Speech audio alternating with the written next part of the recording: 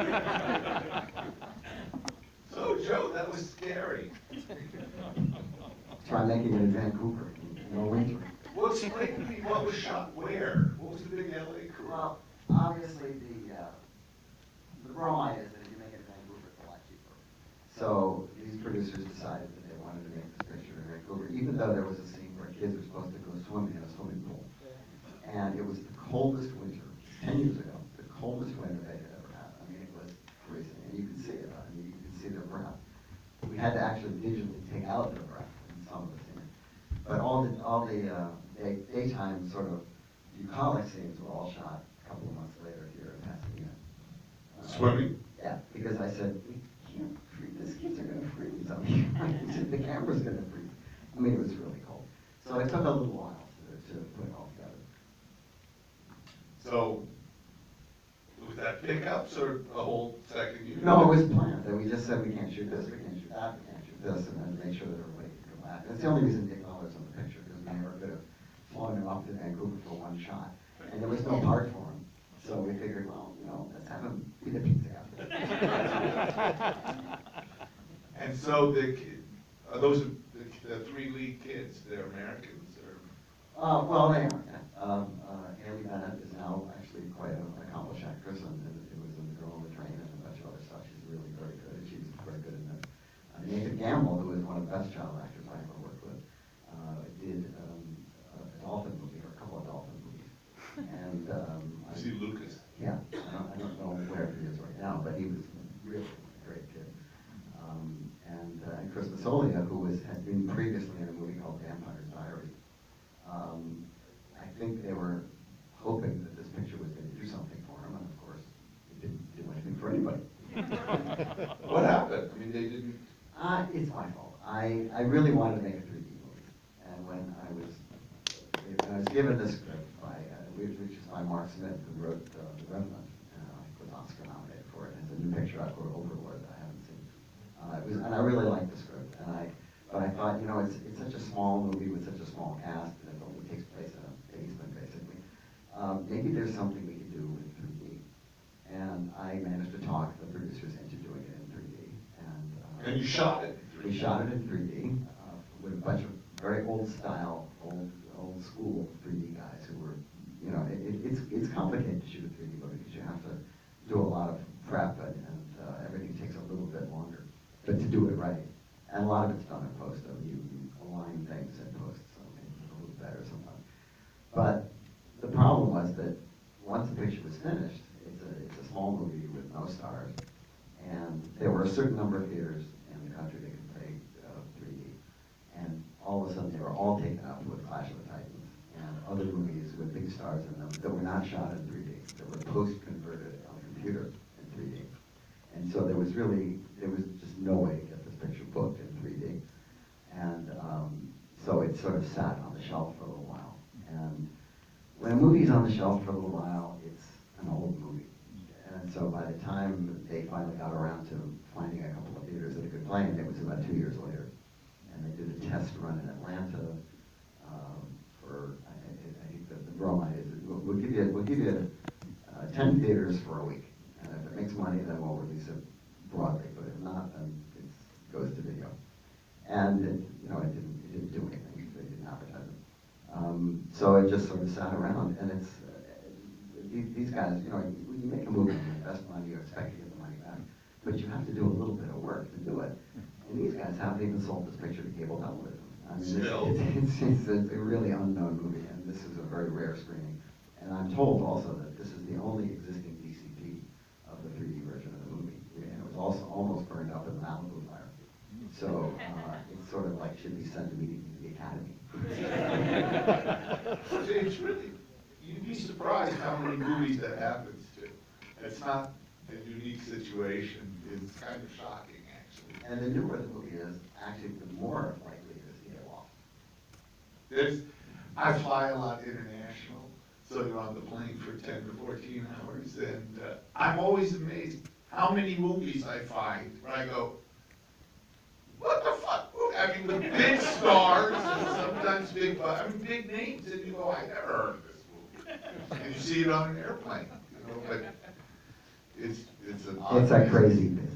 Yeah, so tell me about shooting, shooting in three D, why you wanted to shoot it in three D, how you enjoyed the experience, and tell me all about three D, Well, shooting three D. I, I, I, I grew up in the fifties, and there were a lot of 3D movies for a brief period, and I saw a lot of them. And one of my first movies I ever saw was It Came from Outer Space, and it was in 3D, and it made a big impression on me.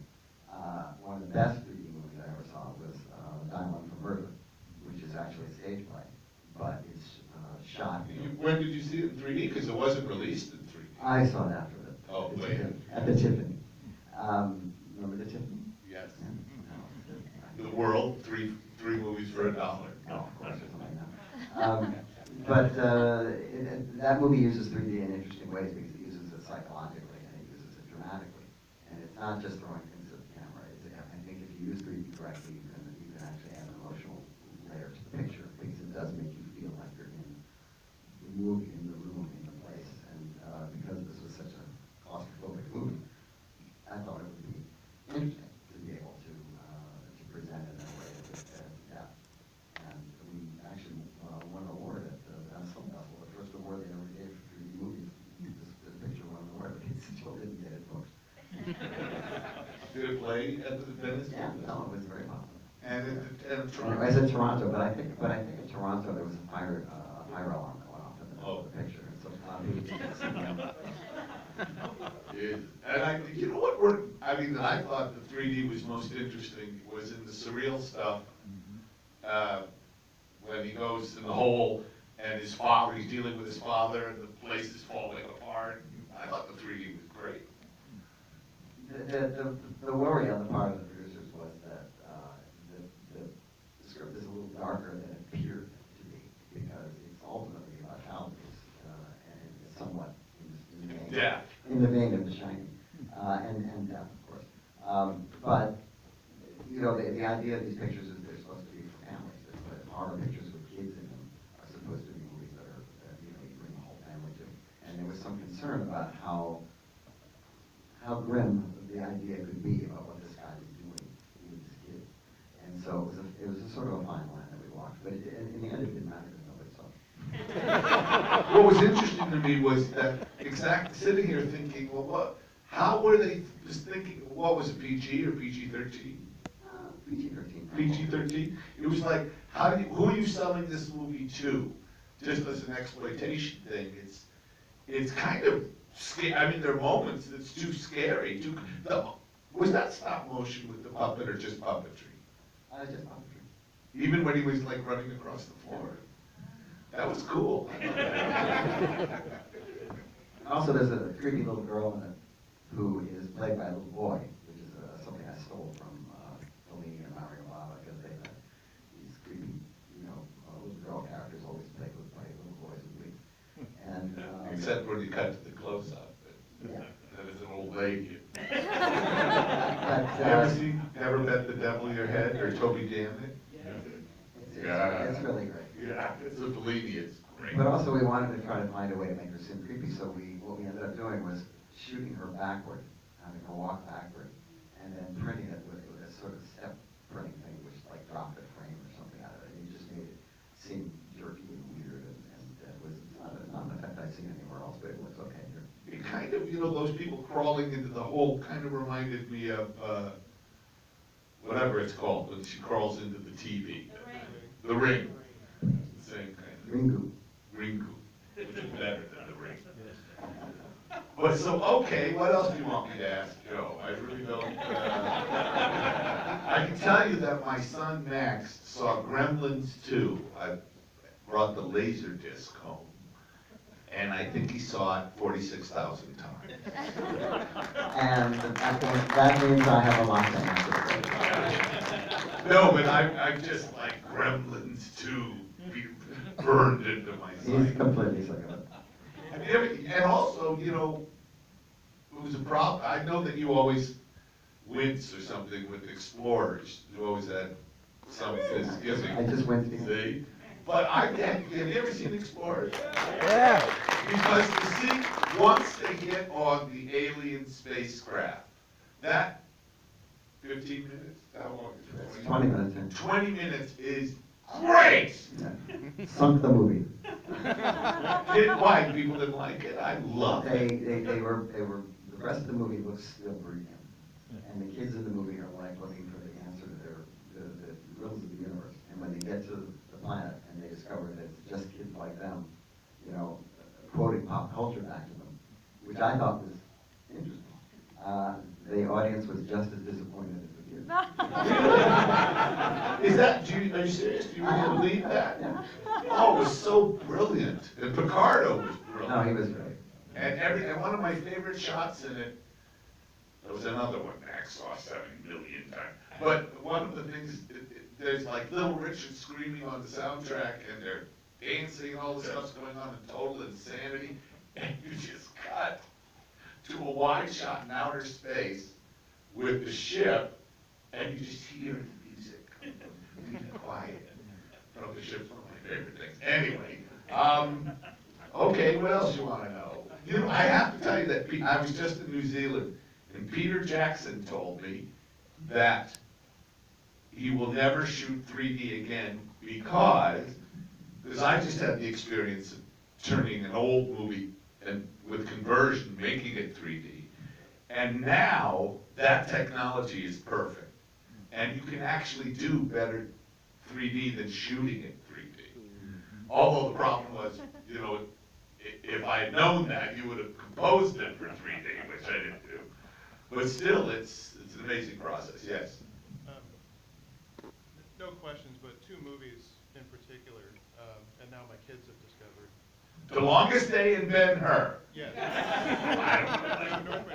Uh, No, um, they, they fell in love with Explorers, and I, I don't know why, I mean, I don't know, Kids do. it, it's a, I don't know why it wins, but, um. No, I went because the picture was released unfinished, and I, it was a rough cut, and I didn't Oh. let me finish the movie, so I- for me, it's a little bit of a sore spot, but there's lovely things in it. uh, What they- They really wait. fell, they fell in love with it, yeah. Yeah, No, kids like it. Why would they? Well, because they changed administrations, the, the, the, the, uh, the administration at Paramount left and went to Disney and left me with Frank Mancuso.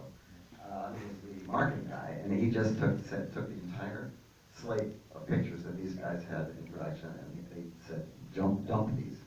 Just stop right now, don't work, don't spend any more money, finish them and put them out. And then they proceeded to, you know, uh, make sure that they didn't make any money, so nobody could say, well, look, at the prior regime made pictures that made money. So it was, uh, I, young Sherlock Holmes and Arrow and uh, young, uh, lady something or other. I mean, the, all those pictures just were, they just went into the ether for a whole year, nineteen eighty-five, the year of pictures that Paramount gave up on. And you did, so you weren't even allowed to, what, what did you have left to do? You shot it? I, I was, I was, I, I had a preview of my rough cut, but, the- but, and then they, they just said finish it. And I said, but, but, and, and it was two months before the scheduled, my scheduled date. And, and I, and at the time, Peter Bogdanovich was being sued by uh, Universal for Mask, which had a similar problem, and that it had been taken away from him. And he was, he was getting a lot of bad press, and, and it was like, do I, did Dante sue Paramount? I don't think so. I don't think that, my, because I was part of that, that they didn't take it away from him. He wanted a piece of He music sued him anyway. because he wanted a, pe- Peter wanted a piece, he wanted a couple of needle drop songs. By the way, Mask is a really good movie. And they, they said, well, no, the songs were like a million dollars a piece. And they said, no, replace them. And he refused. And it was supposed to screen at Cannes, and Peter refused to compromise.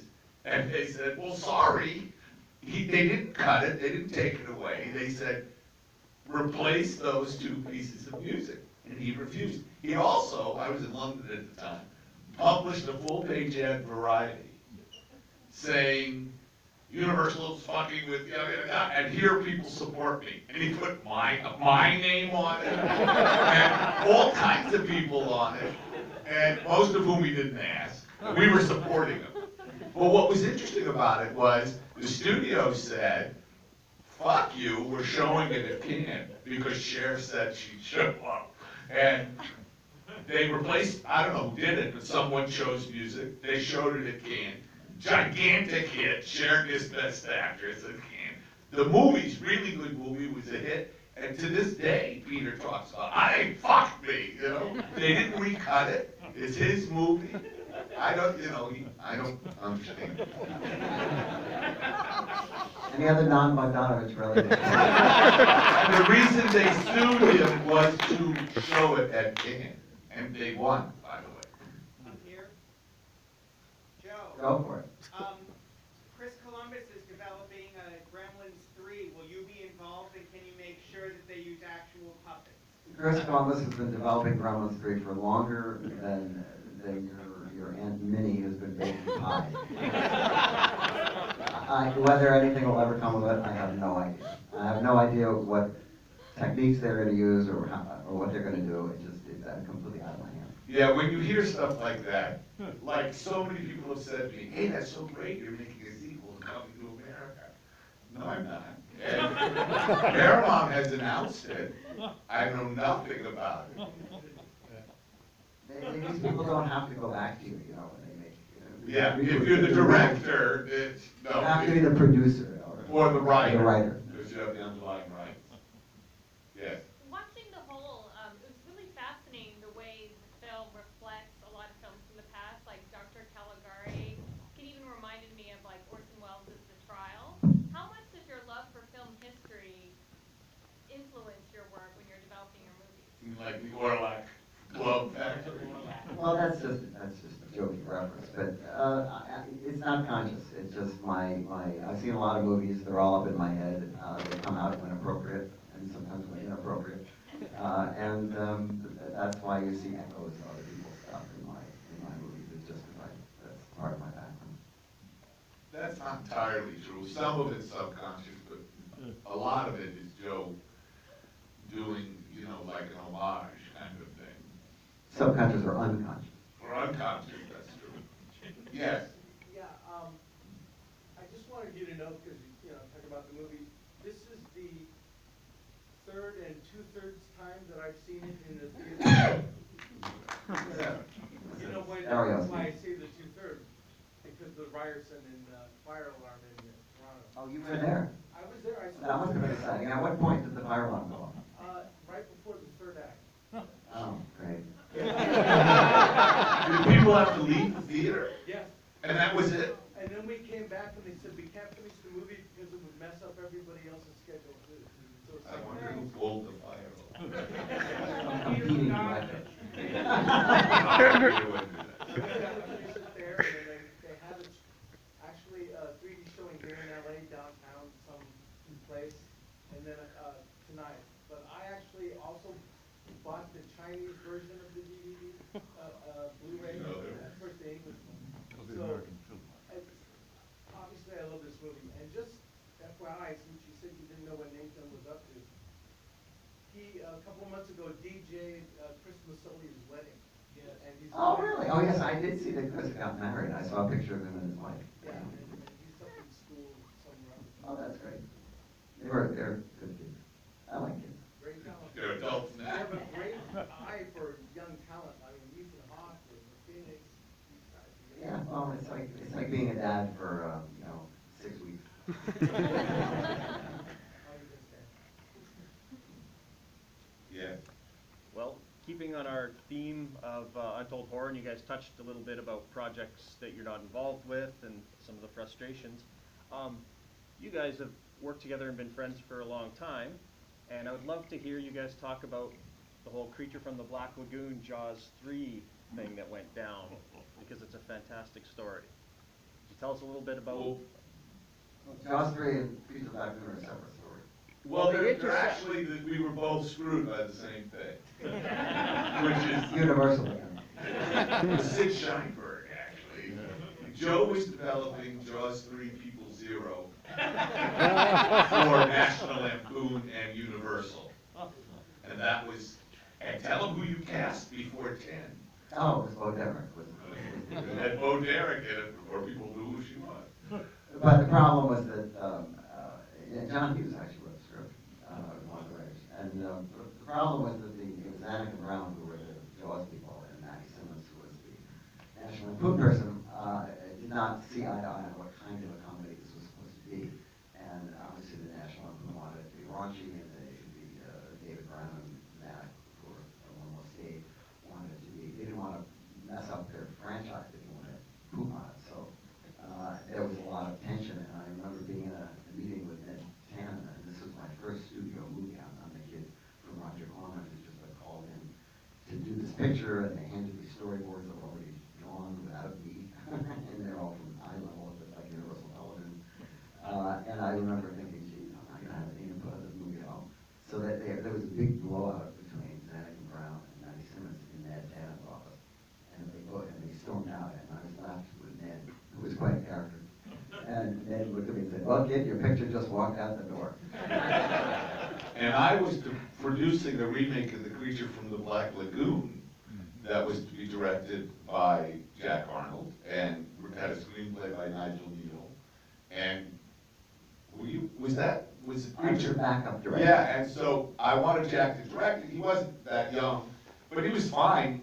Jack had a wooden leg, and so they were saying, well, you know, what if he dies? What if he trips? What if he... So Joe was the backup director at that. But we shot a 3D test in uh, Steven Spielberg's swimming pool, actually, with, I've never forgot Deborah Jo Fondren, who was Playmate of the Year, long blonde hair, swimming back and forth, naked, of course. And we had a very bullshit creature just shooting tests, but with Robert Skotak, by the way. And what was, this before digital, and what was so amazing was the test was fantastic. I mean, it was nothing but just a person's, you know, a creature, so-called, swimming under this naked girl swimming back and forth. But I still think Creature from the Black Lagoon, if you see it projected correctly, is some of the best 3D you'll ever see. And I thought it was so cool, and I said, I would like to show this, you know. So I showed it to, uh, Ned Tannen, and he wanted to show it to Sid Sheinberg and Lew Wasserman, because he said, we're not making 3D movies, theaters are going. Do you know why 3D died, by the way? It's very interesting. It, no, it, it died because you needed two projectors. All movie theaters used to have two projectors. You put a reel on, and remember when you'd see the cigarette burns? That was the signal for the projectionist to change to the next reel, the next projector, and you'd have a changeover. And then he'd thread the other projector. Platters, When you, threw this is before planners. platters. When you see 3D, they had to use two projectors to do it. They had to be in perfect sync.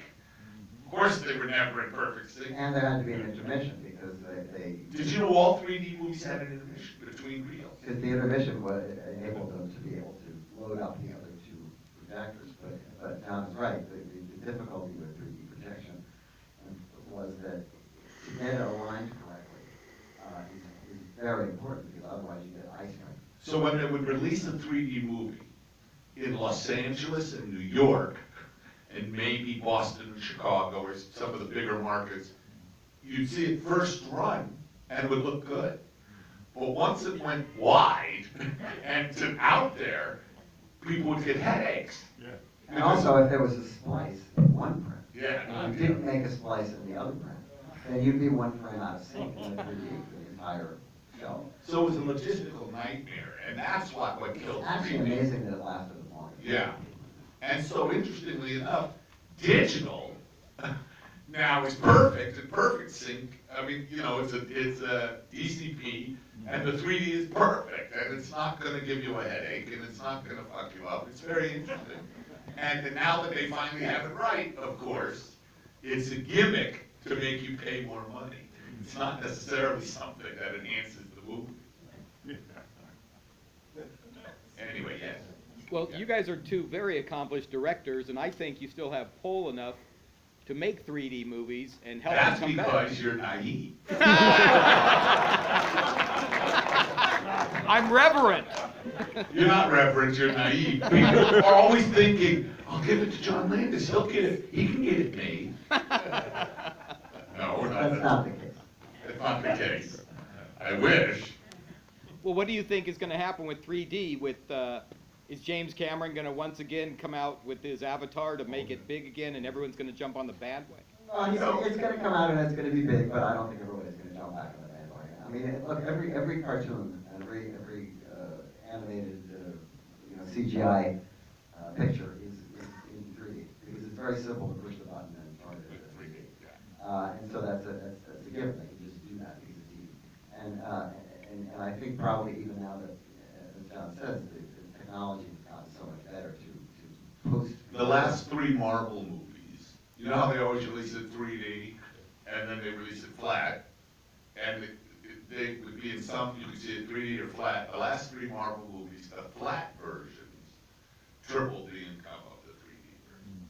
So it's just, what, it's just, it's, it's actually getting simpler and simpler. And as I said, conversion now is amazing what you sitting, you know, and, and Peter's right, Peter Jackson's right, there's no reason to actually go through what Joe went through with all those films. My favorite thing is the most successful 3D movie in the first 3D craze in the fifties, which was House of Wax, directed by a one-eyed man.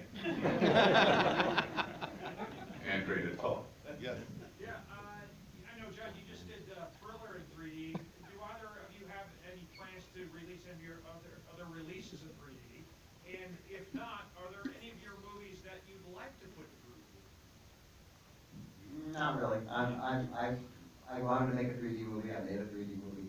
I make another movie in 3D, I, I would plan it to be in 3D. I don't think the movies that I did before were ever planned to be in 3D. I'm, they might look okay, they might be interesting, but it, it's really a shot by shot. And is editing in 3D is not the same as editing in flat because your eye, you can't, you can't, you can't, you can't suddenly do something to somebody's eyeballs and make them have to suddenly convert from here to here uh, without thinking about that. And, and so you, you, have- you, it's, it's very, I mean, martial art, you know, the movie is here, and and that is, it's not, it's not like, it's not like normal editing. It- it- Everything is a little heightened. Especially with Marshall. Except that it was a low-budget film, and I did all the editing in 2D. I never saw it in 3D. I never saw the dailies in 3D or anything.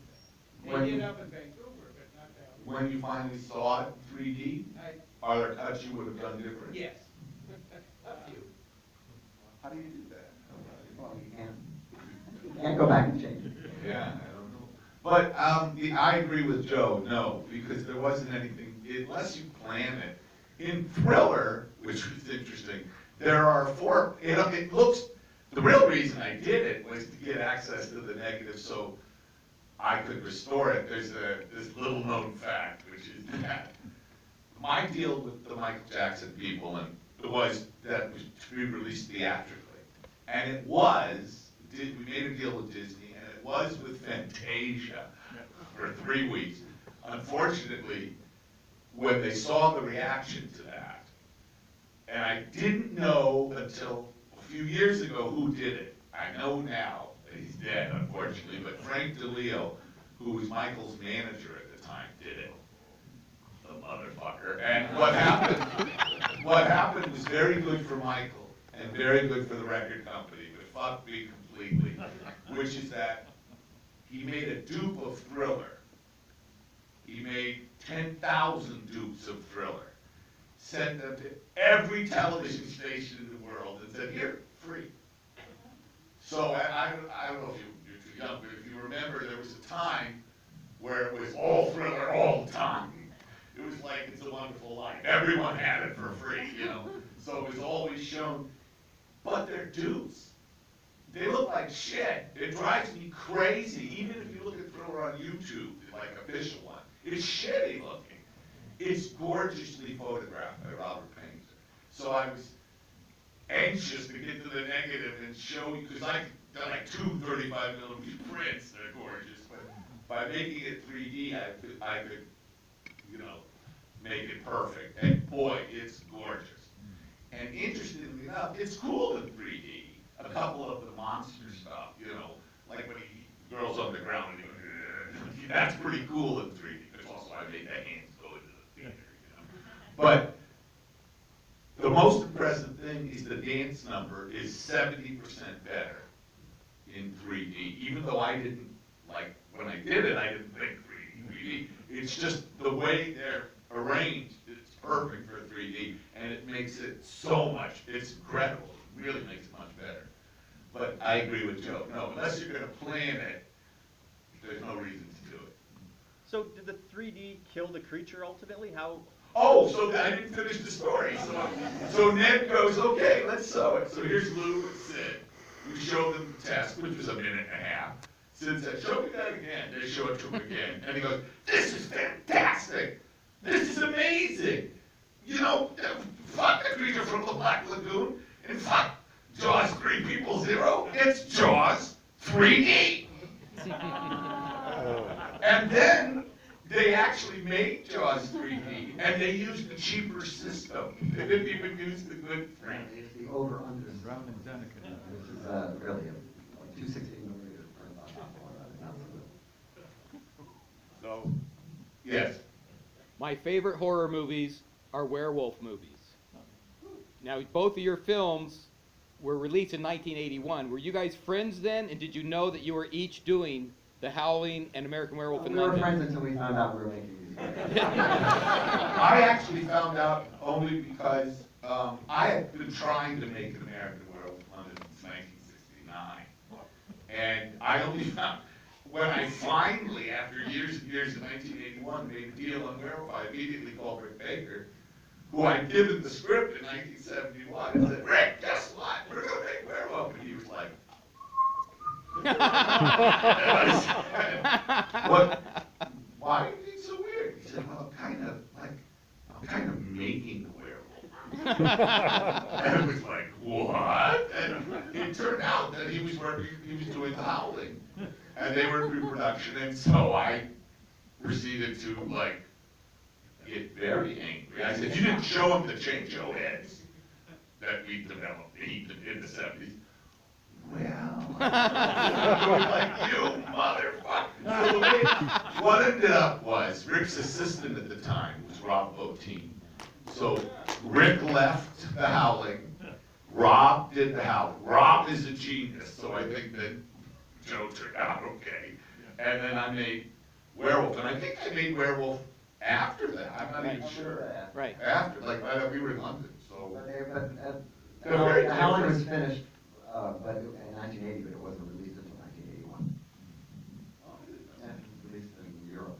I remember when I saw The Howling, there's a scene in The Howling that I think is so creepy, which is the, when she's in that like porno booth and the, the rape, you're watching the rape and the werewolf is it, that's a really creepy scene, that's really creepy.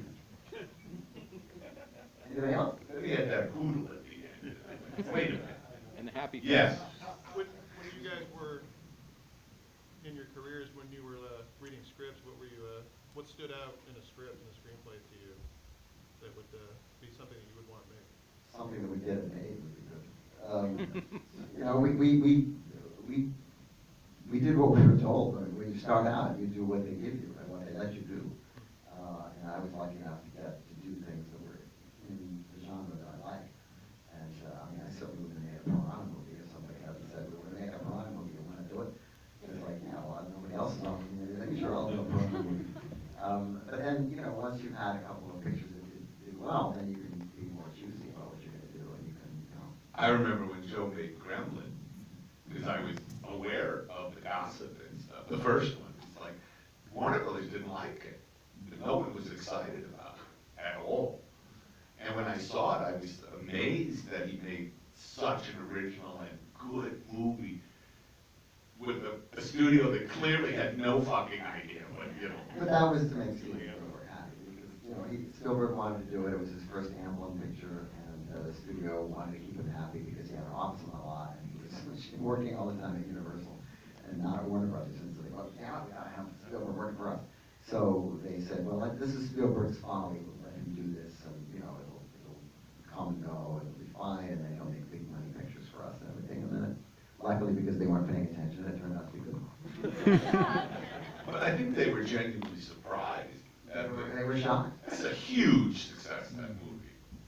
You know, they were all going, that's what we meant, Joe. When we were giving you shit, that's really what we meant. Joe, when they were marketing that movie, it was presented as Steven Spielberg Presents, and it didn't mention your name at all. Did you feel bad? Were you like, hey, I put up my heart and everything into this movie? No, nobody's gonna come to the movie because Joe Dante presents. Not then. Or I'd only done a couple of pictures. And, uh, you know, it was, it was the Spielberg, uh, name that, that got it attention. I mean, I don't, I don't think it was, a lot of people who went to see it thinking it was a Spielberg movie were, were annoyed that this is, this is different than what they expected. But then there were other people who, who, who went anyway, despite the fact that it was a Spielberg movie and liked it. And, uh, who can, listen, the same movie could have come out six months earlier, six months later, and, and done nothing. I mean, it was the right movie at the right time, and we're all lucky when we get one of those. Well, that's true. The zeitgeist has everything to do with the success of a movie. Really bad movies are big hits all the time. And really good movies fail all the time. And, and what I've had in my career, in fact, Joe has too. Joe actually has got better reviews than me usually. But we both are old enough now. I have, I've made a lot of movies that were shit on by the critics that are now referred to as classic film and held up as role models. And they're the same movies that they, they hated. But that's also because the people who hated them were older, and. A lot of the same people. But, but, but the younger people saw the pictures, and, and many of them who didn't see them in theaters saw them on, on video, and passed them around to their friends and all that, and that's, that's how a picture like The Birds, which, you know, didn't exactly set the world on fire when it was new, has now become this movie that people quote, and everybody, you know, sees it over and over, and they have parties and all that kind of stuff. That, that couldn't happen They based on have theatrical. Mark. They do. There's a current screening of books, there's, and, and, it- the Verb websites, it's really bizarre. Yes, Um, I have a, a question, you. you guess it's you? Yeah. Don't guess, it is you. Okay, thank you. Uh, we were talking about three D, uh, and you also mentioned Peter Jackson. I remember the, when one of the Hobbit movies came out in like an advanced frame rate of forty-eight frames, and then stuff Chris Nolan is doing with eighteen per max. I'm wondering what your thinking is about, uh, these different technologies beyond just the regular, you know, twenty-four frames, the stuff we're used to. Well, I saw Ang Lee's, uh, movie about the guy who walks from home plate, whatever the title was. Billy, somebody goes to. Right. Good Billy title, The Lee's Guy Long Who Walk. Walks from Home. Uh, which I, which I, I like the movie, but I saw it in the, in the new Bravery. million frame rate, whatever. Uh, and I thought it was interesting, but the problem with all of those, uh, things is that after about twenty minutes, you just get used to it. And you don't pay attention to the fact that it looks different. That's one of the reasons that show scan didn't work. Uh, is because after a while, it's just not special anymore. And Douglas Trumbull tried to compensate for that when he made Brainstorm by having, planning to have Showscan scenes interspersed with thirty-five millimeter scenes, so that then you go back to Showscan and you go, oh, look, that is better, oh, yes, we like that. Uh, that, he wasn't able to do that, but that was the thinking behind it, and I, I just think that a lot of these things are great, but, uh, they're not the be all and end all. I think some of them are not great. Peter, you know, that frame rate thing you're talking about, I was amazed when I saw it, because that level of clarity he was talking, and the way the light worked. I, you know, this new process makes the sets that look so good in Lord of the Rings look like shit. I mean, it's, I mean, it's like, have you ever seen an old Hollywood movie on TV in, in PAL? Yeah, oh, yeah. Well, when they do the big, they, you know, it's European television, when they get the clarity too high, it looks like it was shot in videotape. Mm-hmm. Could be three strip Technicolor, it looks like videotape. Mm-hmm. It's a strange thing. But digital is now, I hate to say, perfect, and, uh, and gonna get only better. Mm-hmm. And I also said, here's the only thing I have to tell you, other than Joe is brilliant, is go see Roma and go see it in the theater because it's true, truly great. And when I saw it with my wife the other day, big, um, I thought, what a crime that this will be seen on Netflix, who paid for it, so. But they're only putting it in the theater to qualify for an Oscar. It's huge cinemascope, gorgeous black and white photography. And when it was over, I turned to Deborah and I had this epiphany, which is, I was born in 1950. So, like Joe, we're children of the 50s and 60s, which means I used to go to the movies and people like Hitchcock, Truffaut, Godard, Fellini, Bergman, David Lean, you know, I mean, Sidney Lumet, I mean, so many great filmmakers and so many great films came out. You know, from Disney, or from wherever it was. I mean, from all over the world. You had Kurosawa was making pictures. I mean, you go and you'd often see uh, a movie by David Lean or something. When I saw Roma, when it was finished, I turned to him I said, you know, I can't remember the last time I saw a truly great film like this. I've seen lots of movies I liked and lots of good movies, but this is one for the ages. You heard it here. On that note, But anyway, anything else for Joe about his entire career? Um, Can you, can you talk about Javier Navarrete, and the choice of you? Uh, Javier was, look, I have to replace Jerry Goldsmith with somebody, and uh, I had seen Pan Labyrinth and loved the music, and I uh, and talked to Guillermo about it, and uh, Javier was available, and uh, I really found him uh, a wonderful guy. Unfortunately, he had to record the music in, where was it? Slovakia. Slovenia or something. And we had to do it, and because of that, we had to do it in the middle of the night when it was daytime over there. So all we, and we, didn't, we couldn't afford to go because it wasn't that expensive a movie. So uh, we would, we would, we would go to this room in the middle of the night, starting at midnight, and we would just watch on video and listen to him doing the score. Uh, and you know, and what, what I found most annoying was that one of the producers, uh, one, uh, the guy who headed the company, fancied himself a musician or a music buff. He started telling Javier how to uh, how to write the music while he was on the set, on the stage conducting. And I, it was, I, I, at one point I had to just leave the room. I just like, you, okay guys, just you do it. You, you write the music, you record it, because you can do it without me. And it was, it was really disrespectful. There's the old Hollywood jokes. And there are many old Hollywood jokes from the twenties and thirties, and they're all still great. And one of my favorites, which I'm sure you've heard variations of, but speaks to Joe's story, which is, uh, and this joke literally is Paramount Commissary nineteen thirty. I mean, that's how long, but the joke is a writer, a producer, and a director are driving a car in the desert. This is so old. So 1930, that's what I said. They're driving a car in the desert, and it's unbelievably hot. It's well over 100 degrees. And they run out of gas. And they're in the middle of nowhere. And there's nowhere, I mean, they figure, well, some.